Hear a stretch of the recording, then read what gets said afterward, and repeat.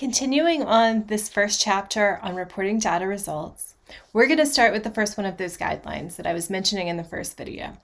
The one that we'll talk about first is data density. So that guideline was to aim for a high data density. Let me start by explaining what data density is.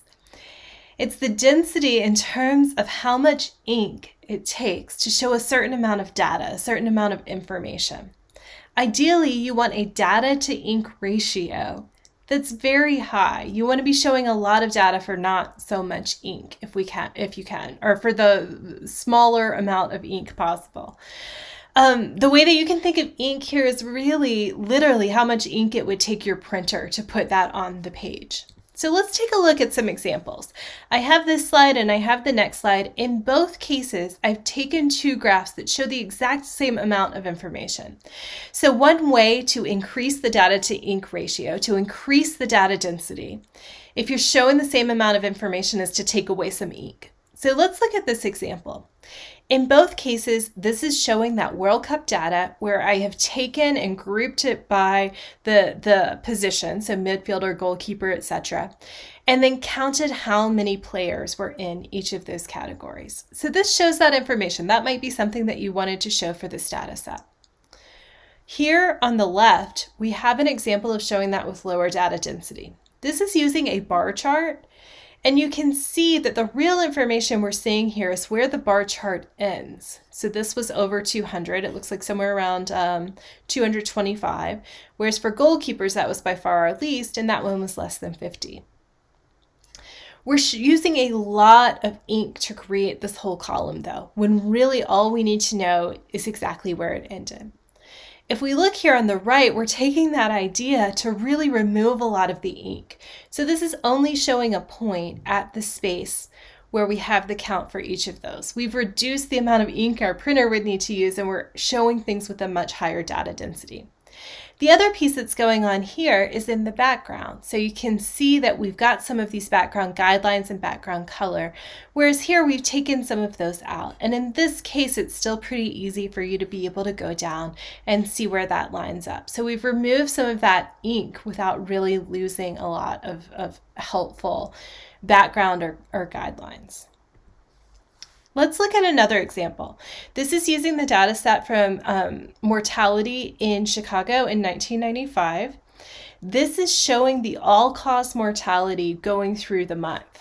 And you can see, so here we have kind of July 3rd and July 10th and so for, uh, so forth going all the way down.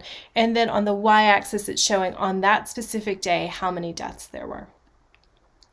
These two are showing, again, the exact same information, but this one on the left is doing more of kind of like that Excel classic style of a plot where it's filled in everything underneath and then it's added some very dark guidelines in the background and all of that. Whereas this one is quite sparse. Um, it doesn't even have the, the kind of um, axes lines, which might be a little bit too far in some cases. But it's also showing packing a lot of information in using very little ink. Now, part of the reason that you want to do this, that you want to try to increase your data density on your plots, is because we're going to talk in some of the other guidelines about adding other elements in, adding in things that help you highlight unusual points, or adding in different references that help you to interpret the data. If you have a really busy graph that's using a lot of ink to show just your baseline information, you're leaving very little room to add on those elements without it looking really cluttered and being really visually hard to focus on the points that you should focus on. If you use a high data density, you're leaving yourself a lot of room to add on those other elements and really kind of enriching your plot without it looking too overwhelming. One of the easiest ways to work towards this idea in ggplot is to use something called themes. Themes allow you to change a lot of the elements of the plot all at once. It won't affect any of the main elements that we've talked about in uh, the last chapter's lecture. So if you'll recall, the three main components of your plots when you're using ggplot, the three main things we think about are the data, the mapping of aesthetics to different columns in the data set, and then finally the geoms, the actual geometric points that go on, the geometric objects. Themes won't mess with any of those. What the themes do is change some of the elements around the plot. So things like the font of the labeling and the different uh, scale markers and the background of the plot area and the types of axes lines that are used and things like that. So it can change a lot of those elements and help in making the, the plot simpler and use less data while not affecting any of the information that you're showing. Some of the, there are some themes that come with ggplot2. Several that we'll be using a good bit in this class are the classic theme, BW, which stands for black and white, so theme BW, theme minimal, and then theme void. A theme void really takes every element out, and it's not particularly useful for something like a scatter plot, but it turns out it's really useful for, when you're creating maps. A lot of times then you want to take out all of the kind of background grid and axis labeling and things like that. These are all in ggplot. So if you go in and do a question mark in ggplot2, and you'll notice they all started with theme underscore. So if you put in the theme underscore, you can scroll through and see all of these different examples that you can use. And you can feel free to play around with those. I'll show in just a few slides how you can use these to add to your um, to, to a ggplot object you've created. The other place that you can find these are in packages outside of ggplot. So people can write their own code to create their own themes, and several people have, and sometimes they'll put those in a larger package that includes a lot of different things. But there have been a few cases where they've created a whole package that was just for different themes for ggplot. One of the big ones for that is GG Themes, so we'll look at some themes from that particular package. Using a theme is really easy. You create your ggplot object first, and then it becomes just one more layer that you add on. So let's look at an example of doing that with that Chicago data. In the first video in this chapter, I showed the example data sets that we'll use and I put some code for that. So make sure that you run that and have everything set up. And if you do, you should have an object called Chic July Sorry, it's not a tibble, so it's printing out everything instead of just the top, but let's look at just the beginning of it. There we go. So it has some elements like the date, some pieces, some columns where it's pulled out certain elements of that, and we won't use those much uh, right now. But it's also got the number of deaths on each day in Chicago, and this is the piece that we're going to be using in this example plot. So I want to create a scatter plot, a kind of time series where I'm showing the date in, on the x-axis and then showing the number of deaths on the y-axis. So let's go up and we can do ggplot. Our data is going to be the Chic July. And then we can do our aesthetics mapping. So I want X in this case to be to map to the date column, and then I want Y to map to that death. All right, so we've got in now our data, we've got in our aesthetics mapping, and then our one other piece is we want to do a geom. You could do a line with this if you wanted to. In this case, I'll do points. I'll do geom point. So let's take a look at that. You can see over here in the plot window that this is exactly what we were hoping for, where we have the date along the x-axis, and then each point's position along the y-axis shows the number of deaths that day we can very clearly see that something really unusual happened in the middle of this month. This is using the default theme for ggplot, but now we can try adding some new themes.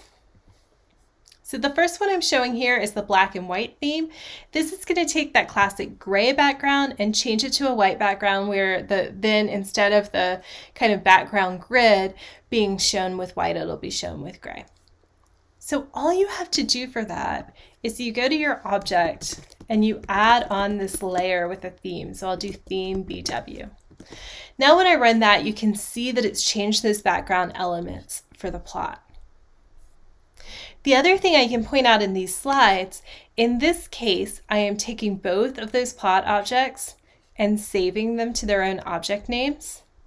And previously, right here, I actually saved the ggplot to the Chic plot name as well.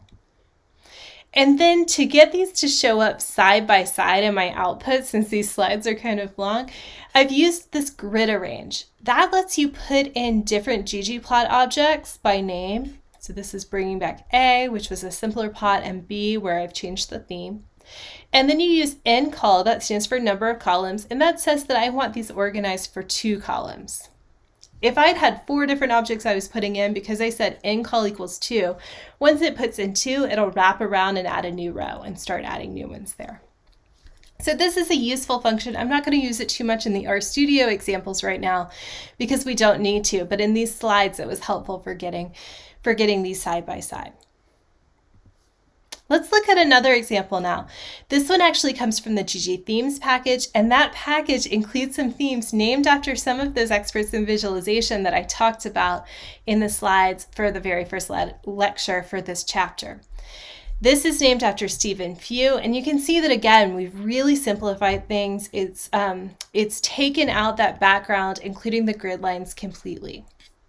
So if we want that instead of this black and white theme, we can just go up to our theme and change it to that theme few. And you'll need to make sure that you have the GG themes library loaded before that will work. So we've got that over here. And, and that was, again, all it takes to change that was changing the theme that we add, that, that theme layer that we're adding there at the end. All right, this last one is using a Tufte theme. This is named after Edward Tufte. It's using the same kind of approach and you can see in this case it's also changed the, the font size and it's changed some of the features like, like taken out the kind of box that goes around the plot area to leave a very sparse plot. You can even put in some themes that might be questionable choices. Like if you really want it to look like old school Excel, there is a theme Excel. I believe this is in GG themes as well. And so you can put that in and you can have what things look like when you were in high school using Excel if you're of my age.